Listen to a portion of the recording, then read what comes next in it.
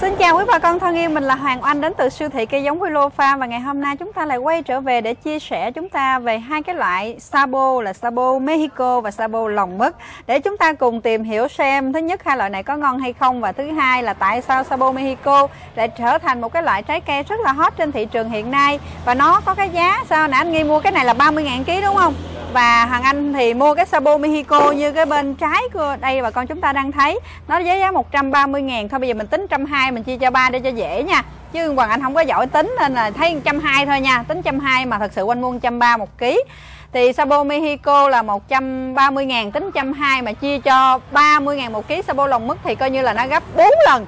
Sabo Mexico nó gấp 4 lần Sabo lòng mứt nha quý vị nha như vậy thì nếu chúng ta làm một bài toán kinh tế cùng một cái diện tích trồng, cùng một hố trồng, cùng về phân bón chăm sóc, đầu tư về thời gian, công sức, phân bón đồ này kia mà cái thằng Sabo lòng mức á thì nó chỉ bán được có bằng 1 phần tư Sabo Mexico thôi.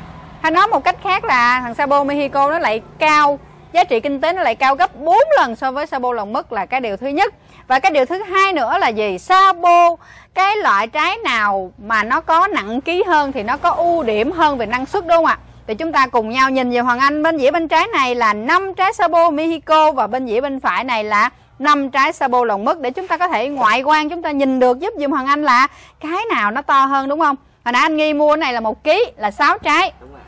Sabo lòng mứt là anh nghi mua một ký 6 trái và hồi nãy giờ là Hoàng Anh đã đã ăn hết một trái rồi. Thì bây giờ Hoàng Anh sẽ cân lại coi nó còn bao nhiêu. Một nè 2 3 4 5 Rồi cho Hằng Anh xin à, 820 gram. 820 gram cho 6 trái sabu lòng mứt nha quý bà con thân yêu của Hoàng Anh. Rồi bây giờ Hoàng Anh sẽ cố gắng sắp hết mấy cái này lên ở trên ở trên cái dĩa ở trên giá cân. 1 2 Sabo Mexico nha 3 4 và 5 ký 7 1 ký 7 1 ký 7 với nãy nhiêu nhờ? Nãy 300 gram. Không. Này à, này 820 8 gram. 800 nhà cho 900 gram đi với một ký 7 là bà con thấy không? 5 trái nhưng mà nó ra cái cân nặng là 1 ký 7 và 5 trái và nó ra cân nặng là 900 gram. Vậy thì thiếu với bà con chúng ta trồng thì chúng ta sẽ trồng loại gì? Đúng không ạ về mặt năng suất nè, về mặt giá thành bán nè, là chúng ta đã thấy Sabo Mexico nó vượt trội hơn rất nhiều so với Sabo lòng mất rồi. Bài toán là chúng ta tạm thời là công nhận cái việc về giá trị kinh tế và việc về cái cân nặng cạo trọng lượng hay còn nói cách khác là về năng suất ở đây nha quý vị nha. Được chưa? Chúng ta công nhận là Sabo Mexico đã là ăn hết 2 điểm so với Sabo lòng mất rồi nha rồi bắt đầu Hoàng Anh sẽ tiến hành xem những cái khác nữa, những cái yếu tố khác nữa để quý bà con chúng ta cùng nhau có một cái bức tranh toàn diện hơn khi chúng ta đã quyết định là trồng một cái loại cây dễ trồng, dễ chăm sóc, cũng là cây lâu năm, mân mà sớm cho trái và thị trường tiêu thụ một cách rộng rãi thì chúng ta trồng loại sabo nào cho nó hợp lý nha quý bà con. Và Hoàng Anh rất là dụng tâm trong việc này để làm sao quý bà con chúng ta đưa ra được những quyết định đúng đắn cho cái khu vườn của mình. Tại thật sự ra việc lập vườn nó tốn rất là nhiều tâm, tư, sức lực và chi phí của quý bà con chúng ta.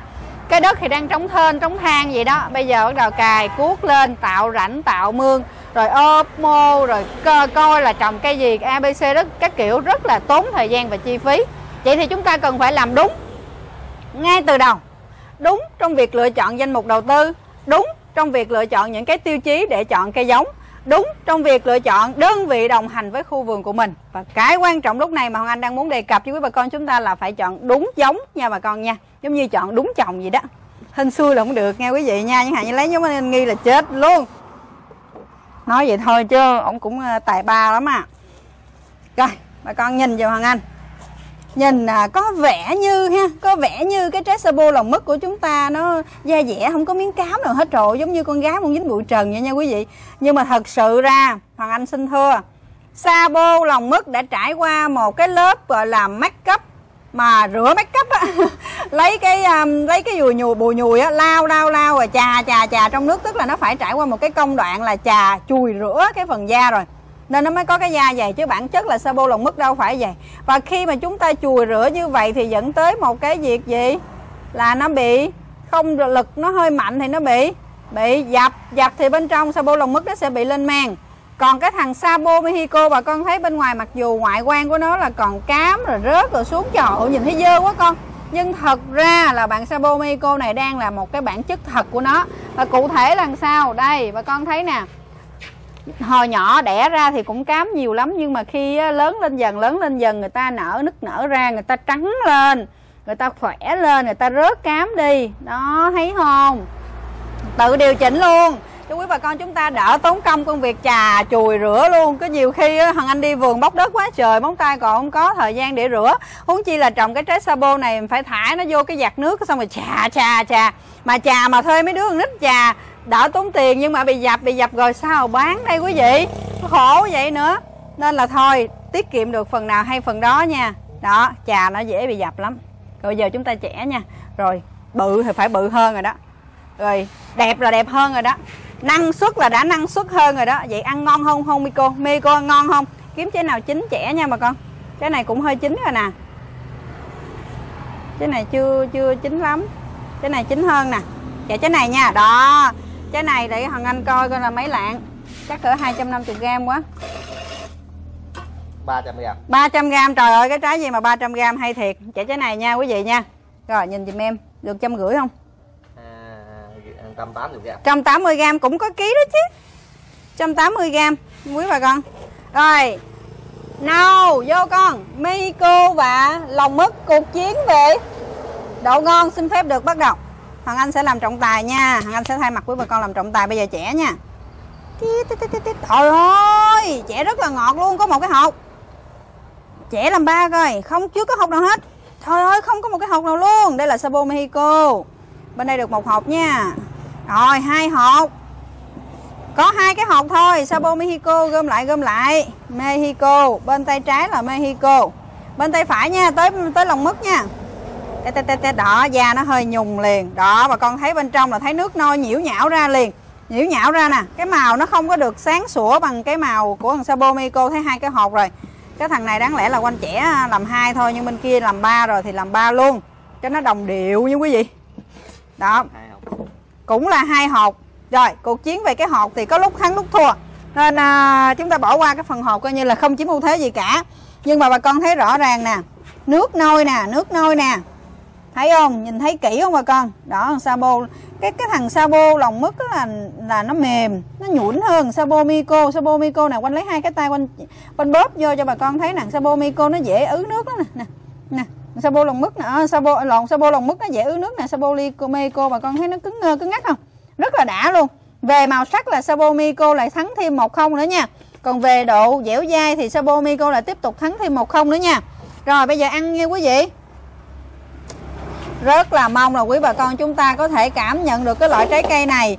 Nó vừa dễ trồng vừa dễ chăm sóc vừa lẻ trái mà lại ăn ngon thị trường lại đang rất là cần nó nữa chứ.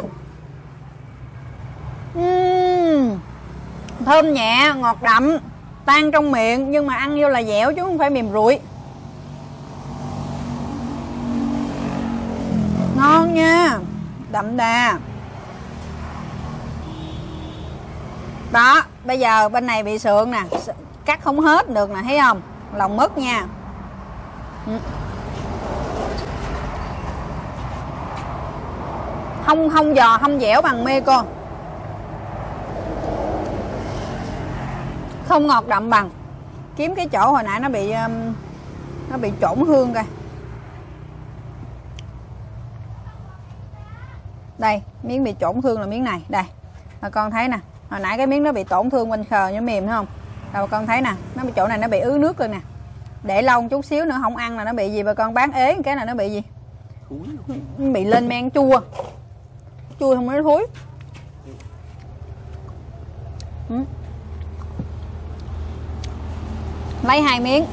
Một miếng sabo miko một miếng lòng mứt. Để kế bên rồi bà con chúng ta tự phân biệt đi. To hơn liên kết tế bào tốt hơn màu sắc đẹp hơn. Đây nè, anh nghe dày là anh nghe mới thấy dễ nè nè. Đó, nước không mà thấy không? Bên này khô ráo nè, bà con thấy không? Bên này là nước nhiều, bên này khô, màu sắc đẹp hơn. To hơn, màu sắc đẹp hơn, ăn vô lần Mexico ngọt hơn. Lòng mứt nó không ngọt bằng. Thì nếu là quanh quanh là người tiêu dùng, quanh sẽ chọn ăn Sabo Mexico cho dù giá có mắc hơn. Mà mắc thiệt, mắc tới gấp 4 lần Sabo lòng mứt, quý bà con. Và cái thứ hai nữa, nếu mà quanh là người trồng quanh sẽ trồng Sabo Mexico. Vì những lý do sau. Thứ nhất, so với lòng mứt thì Đông Anh cũng không tốn thời gian và công sức nhiều hơn, chi phí nhiều hơn bằng nhau. Thứ hai, năng suất nó cao hơn và bằng chứng là nó to trái hơn sabo lòng mứt và nó cũng sai trái y chang như sabo lòng mứt và cái thứ ba, ăn nó ngon hơn thì thị trường nó sẽ rộng mở hơn.